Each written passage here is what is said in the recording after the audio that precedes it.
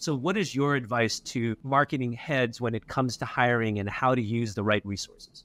Yeah, you know, I think the the biggest thing, you know, right now is just, you know, one, you have to start at the end and work your way back. And, and, and what do I mean by that? You know, you have to look at the total budget that you have allocated for, you know, not only your marketing spend, but your internal team as well.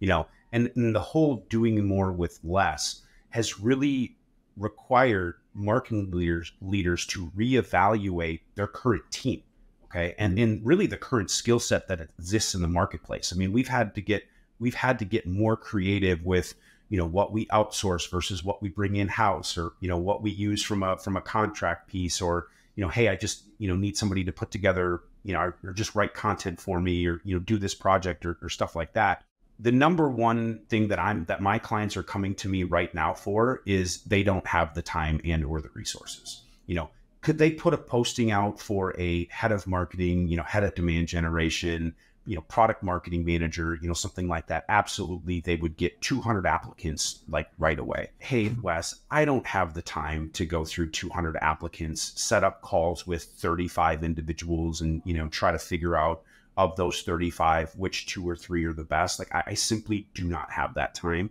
And oh, by the way, I need to have this position hired, you know, butt in seat inside of six weeks. Okay. That's when they come to, you know, myself and, and my team to say, hey, you know, we have a need. We know you know the marketplace. We know you know how much these individuals cost. And it's really streamlining the process. And, and that's the number one thing that, that our clients are coming to to to us for. Number two, and, and it, it's kind of caters into to number one is hey you know what? I had to let go of you know i had a six person team earlier this year. I had to let go of three people. And now i'm actually at the point to where i can hire one person back. Can you just sit down with me and do an audit of the skill set that i currently have on the team the budget that i have you know for this mm-hmm. new position?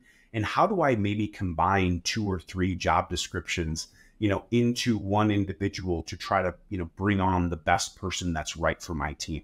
And that's a mm-hmm. different answer for every single organization because what you can spend is going to be different, what industry you're in is going to be different, how the rest of your team is constructed is going to be different, what's your go to market, you know, that's going to be, mm-hmm. you know, obviously different. And so that's a really big thing right now to where it's like, hey, if I do indeed actually have to do more with less, let me bring an outside person in that understands you know the market and understands the, the candidate base and the skill sets and what skill sets are typically are, are getting combined you know in an individual like or mm-hmm. because it's like hey if i want you know ppc and you know marketing automation is that a unicorn? Yeah it probably is. So so don't don't combine those two right um, it, it's stuff like that. So really, just kind of having that other voice in the room that's going to help somebody mm-hmm. make an, an, educated decision. And it's no different. You know, the analogy that I use, and you talked about being in the mortgage industry, Alec, is like if you're if you're building a house. Okay, if you're building a house and you hire a general contractor to to help give you advice, you know what? You might be really good at doing the the framing of, of your house. Okay. You can, you know, build up the walls, you know, frame everything up, but you know nothing about electrical and plumbing. Well, find somebody from the outside that understands if you're going to put a bunch of bids out to these other electricians, that those bids are going to be accurate or they're going to be able to sell, yeah, you know what, that electrician, uh, yeah.